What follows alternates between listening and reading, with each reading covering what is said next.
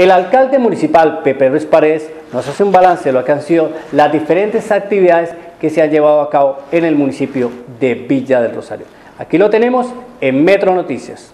Ah, sí, a ver, el señor gobernador nos ayuda con una dotación, entrega de homenaje para los diferentes comedores, pero ahí quedan faltando algunas cositas que ya nos alivia mucho y el municipio va a completar a los diferentes comedores. Le agradecemos al señor gobernador, la verdad, en el municipio nos ayuda con muchas cosas. Lo importante es que están haciendo seguimiento a estas actividades, especialmente la entrega de estos insumos y esta dotación.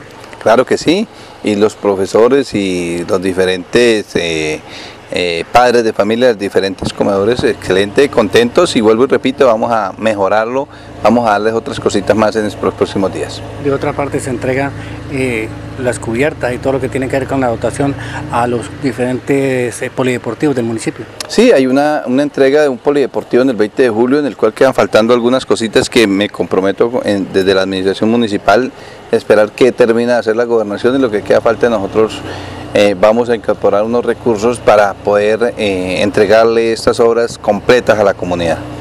De otra parte tenemos que se está haciendo la socialización del tema de la Casa de la Cultura. Eh, hagamos, contémosle a la comunidad cómo va.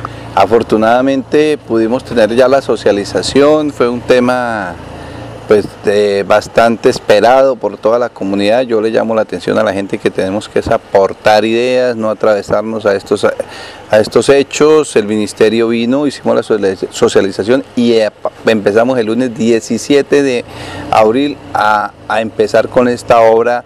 Son una obra de 10 meses que vamos a trabajar, pero la vamos a entregar a Villarrosario, este es un compromiso de mi campaña, de mi gobierno y le vamos a entregar esta obra terminada para que lo disfruten las diferentes actividades culturales del municipio. Qué importante que el municipio se vincule también con estas personas damnificadas del Putumayo que están pasando una difícil situación. Vea que estamos trabajando por diferentes cosas, diferentes sectores, diferentes ámbitos. Hicimos una recolección de más de una tonelada de alimentos que fueron enviados, entregados a la Policía Nacional y fueron enviados a nuestros compañeros, nuestros hermanos de Mocoa.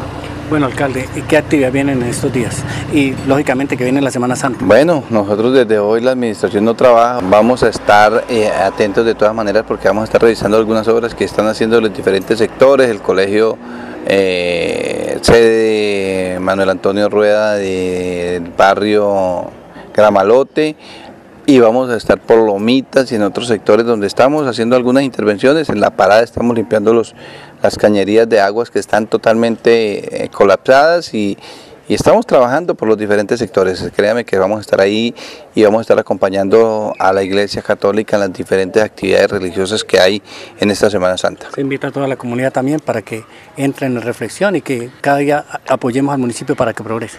Eh, invito a los diferentes sectores, a sus diferentes religiones que acudan de alguna manera eh, de acuerdo a su, a su creencia, a que en esta Semana Santa hagamos la reflexión necesaria para que el municipio, eh, hagamos la oración para que el municipio nos siga yendo bien. Muy amable.